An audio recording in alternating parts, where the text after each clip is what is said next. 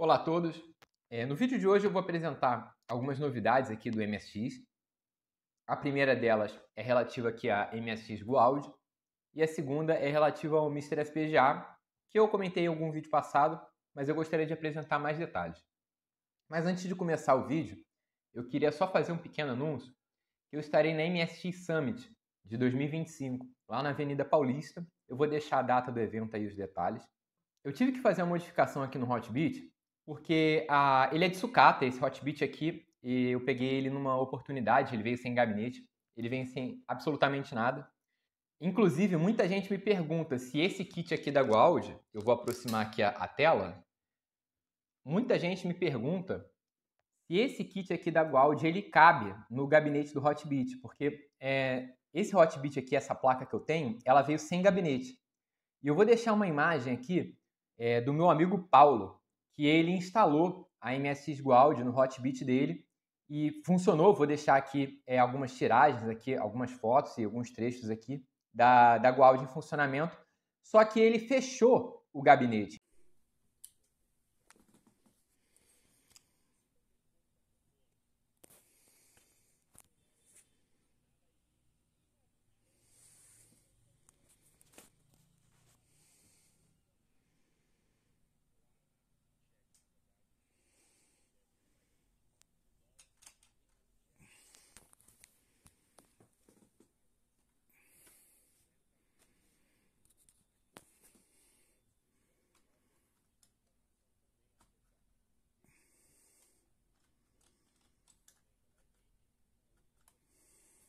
Então eu quero apenas mostrar que é possível sim fazer a instalação da Goald no Hotbit e fechar o gabinete que é, o seu MSX ele vai estar tá convertido. Mas feito, feito esse parêntese, deixa eu voltar aqui a câmera.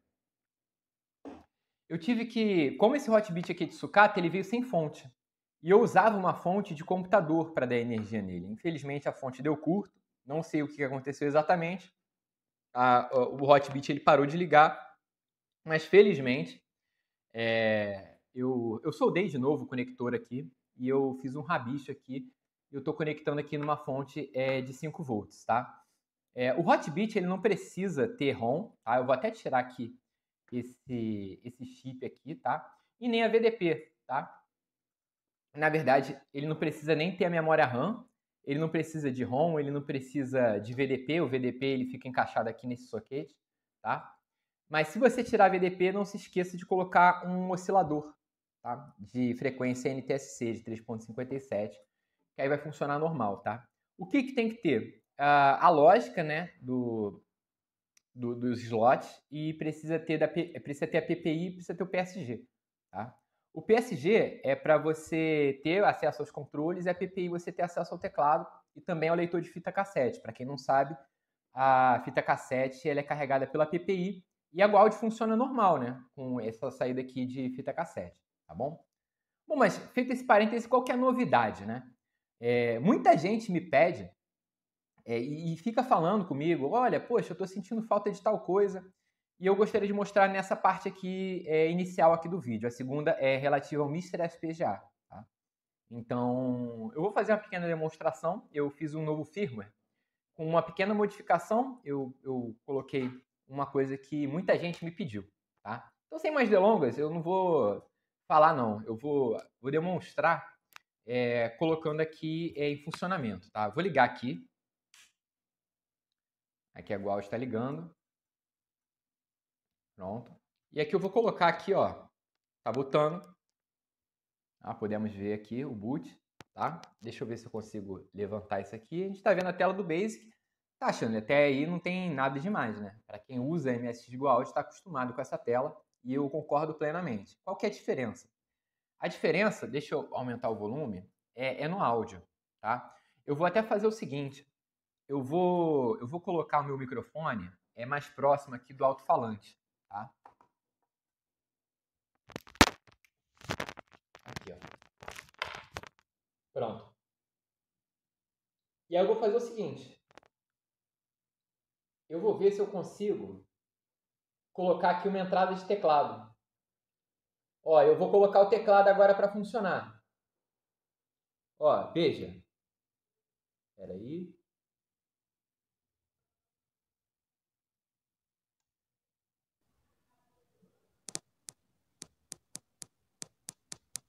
Não sei se dá para ouvir, ó.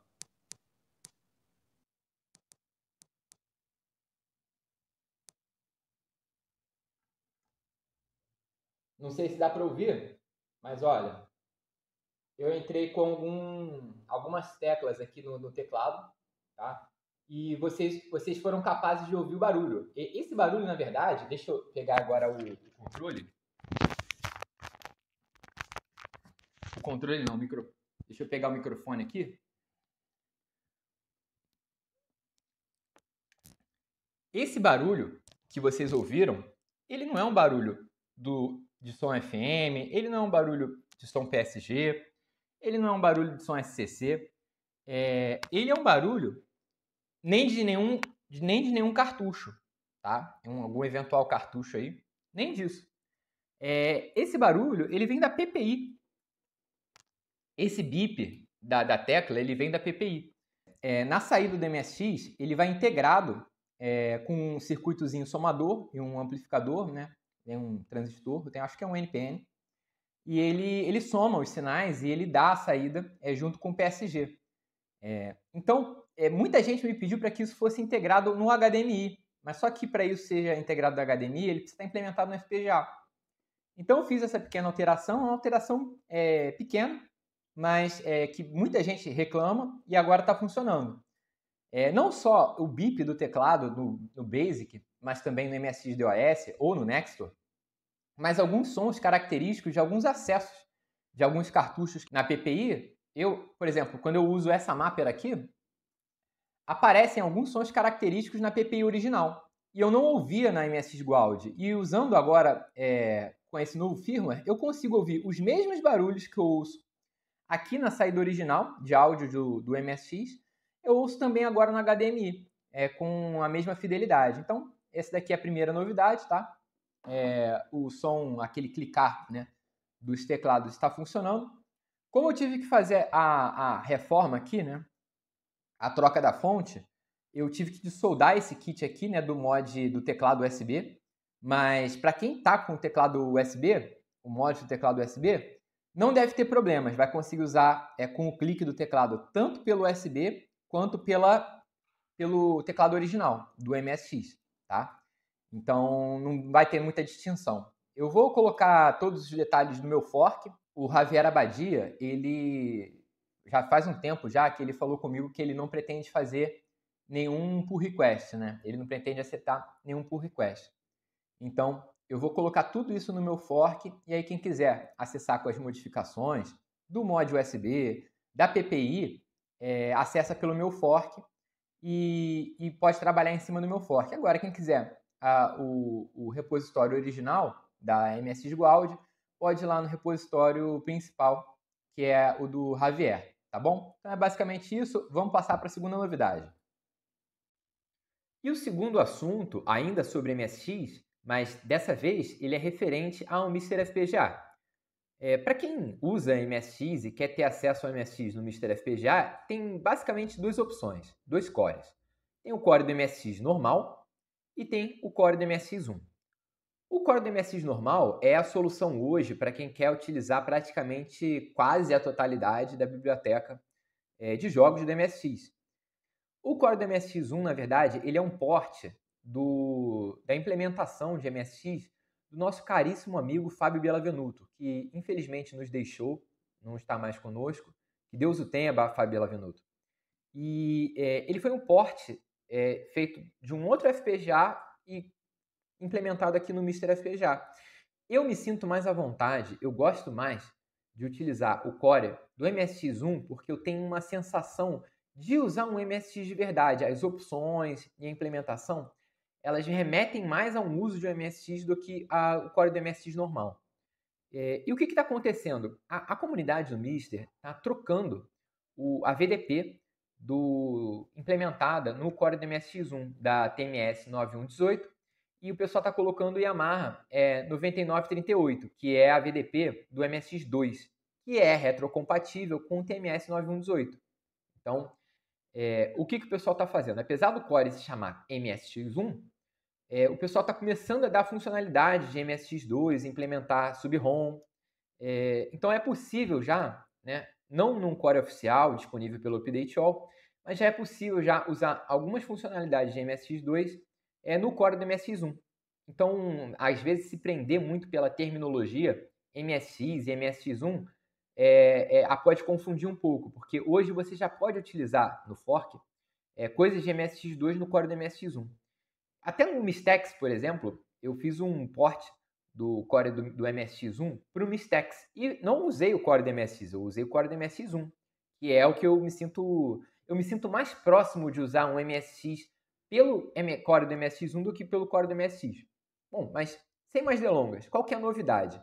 Além de ser possível, né, através de um fork, usar a, a, coisas do MSX2, existe um outro fork, ou seja, o fork do fork, que o pessoal é, colocou uh, o cartucho do FMPAC. Eu vou deixar aí na tela o que, que é esse cartucho do, do FMPAC. É basic, basicamente ele dá o som FM no MSX. E tem alguns sons, tem alguns jogos que usam o som FM. Tá?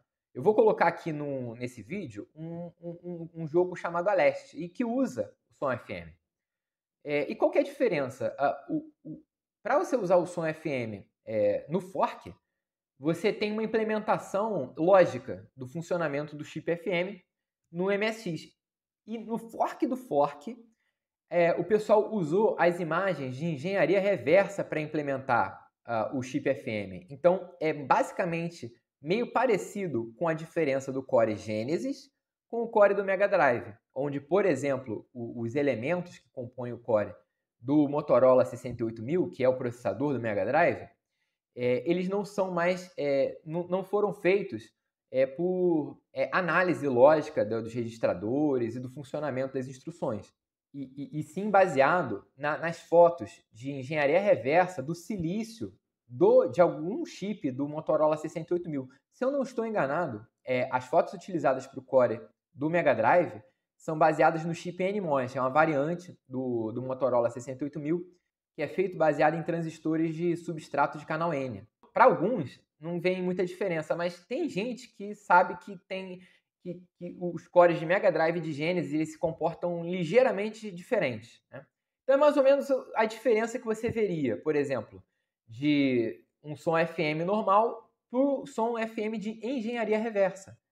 Eu vou colocar uma breve demonstração já com o fork do fork, ou seja, com a implementação em engenharia reversa do chip FM, que o pessoal já integrou e já pode utilizar no Mr. FPGA. A única diferença é que, como ainda não está finalizado, ele ainda não foi integrado ao Update All. E aí, conforme eu vou passando, eu vou explicando mais os detalhes.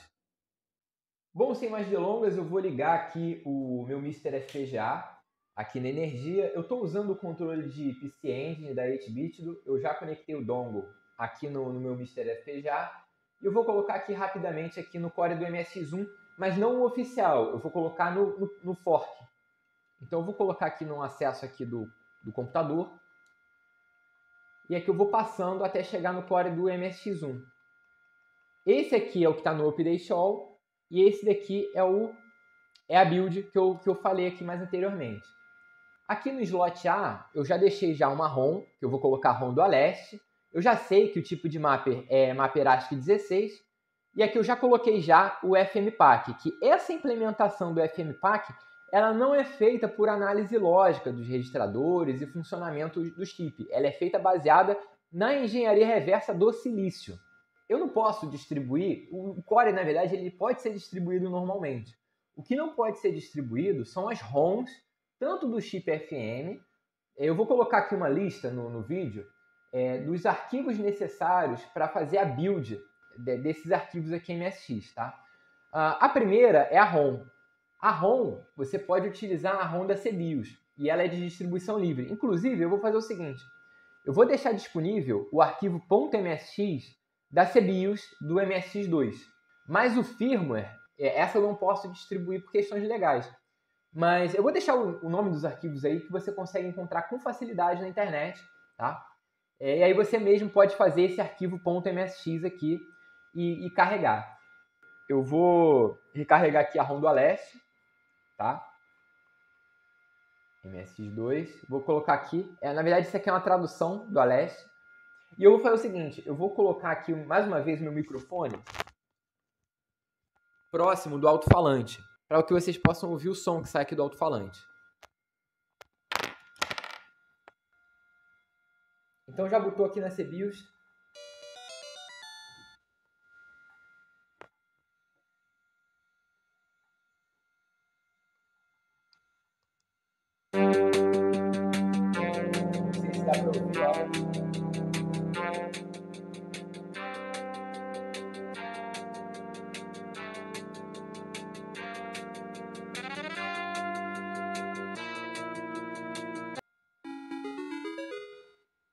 Deu para notar a diferença?